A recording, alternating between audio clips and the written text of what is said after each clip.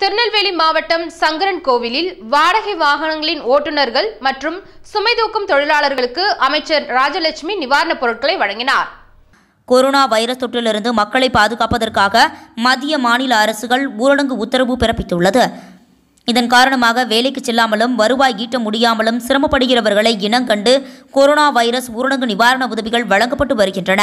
இத்திட்டத்தின் கீழ் தமிழக ஆதி திராவிடர் மற்றும் பழங்குடியினர் நலத்துறை அமைச்சர் வி. எம். ராஜலட்சுமி தன்னுடைய சொந்த தொகுதியான திருநெல்வேலி மேற்கு மாவட்டம் சங்கரன் கோவிலில் உள்ள வாடகை கார் வேன் ஆட்டோ மற்றும் சரக்கு வாகனம் ஆகியவற்றின் ஓட்டுநர்களுக்கும் சுமை தூக்கும் தொழிலாளர்களுக்கும் தனது சொந்த செலவில் மொத்தம் எழுநூற்று ஐம்பது பேருக்கு அரிசி எண்ணெய் பருப்பு உள்ளிட்ட அத்தியாவசிய பொருட்களை வழங்கினார்.